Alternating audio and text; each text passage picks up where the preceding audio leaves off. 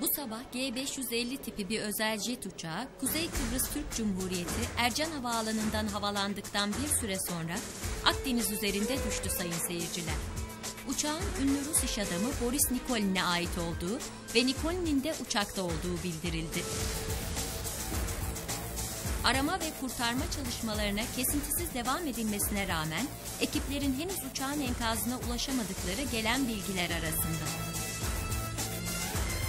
Boris'in uçağını gizlice bizim buradaki hangarlardan birine çektirdik müdürüm.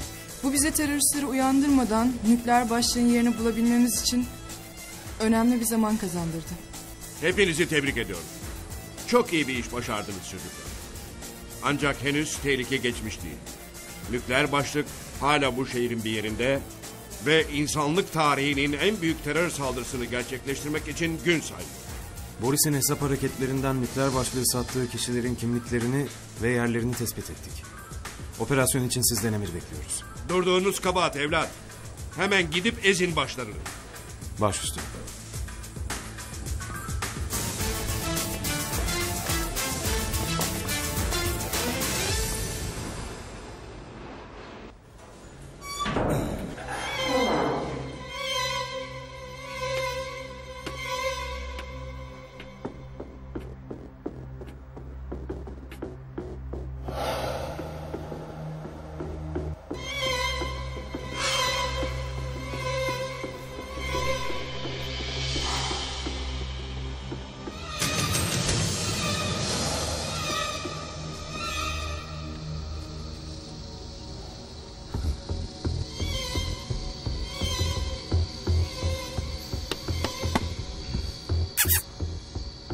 Biz buradan vıllamadan patlama da gözünü seveyim.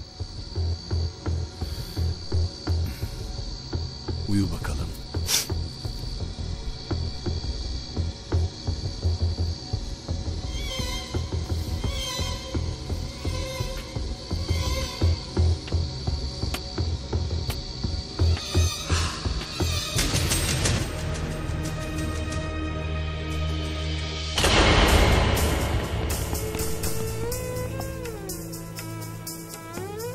Yalnız bu defa öyle bodoslama dalıp basamayız şerefsizler. Ellerindeki oyuncak değil. Nükleer füze başlığı. Adanalı haklı. Adamlar baskına geldiğimizi hissederlerse 29 Ekim'i filan beklemeden patlatırlar bombayı. Bunun mutlaka bir sürpriz baskın olması gerekiyor. O zaman müdürüm biz de en iyi yaptığımız işi yaparız. Kılık değiştirerek yaklaşırız heriflere.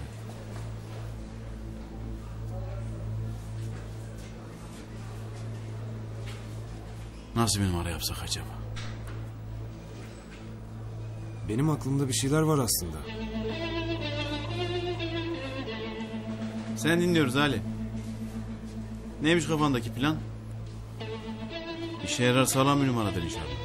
Vallahi daha önce sizi birkaç kez gafil avlamamızı sağladı bu numara. Bu defa da işe yarar herhalde. Ne de olsa sizin organize şubeyi kandırmak da bizim en usta olduğumuz şeydi bir zamanlar. Öyle değil mi Adanalı? Müdürüm izninizle. Ben gidip arkadaşları hazırlayayım.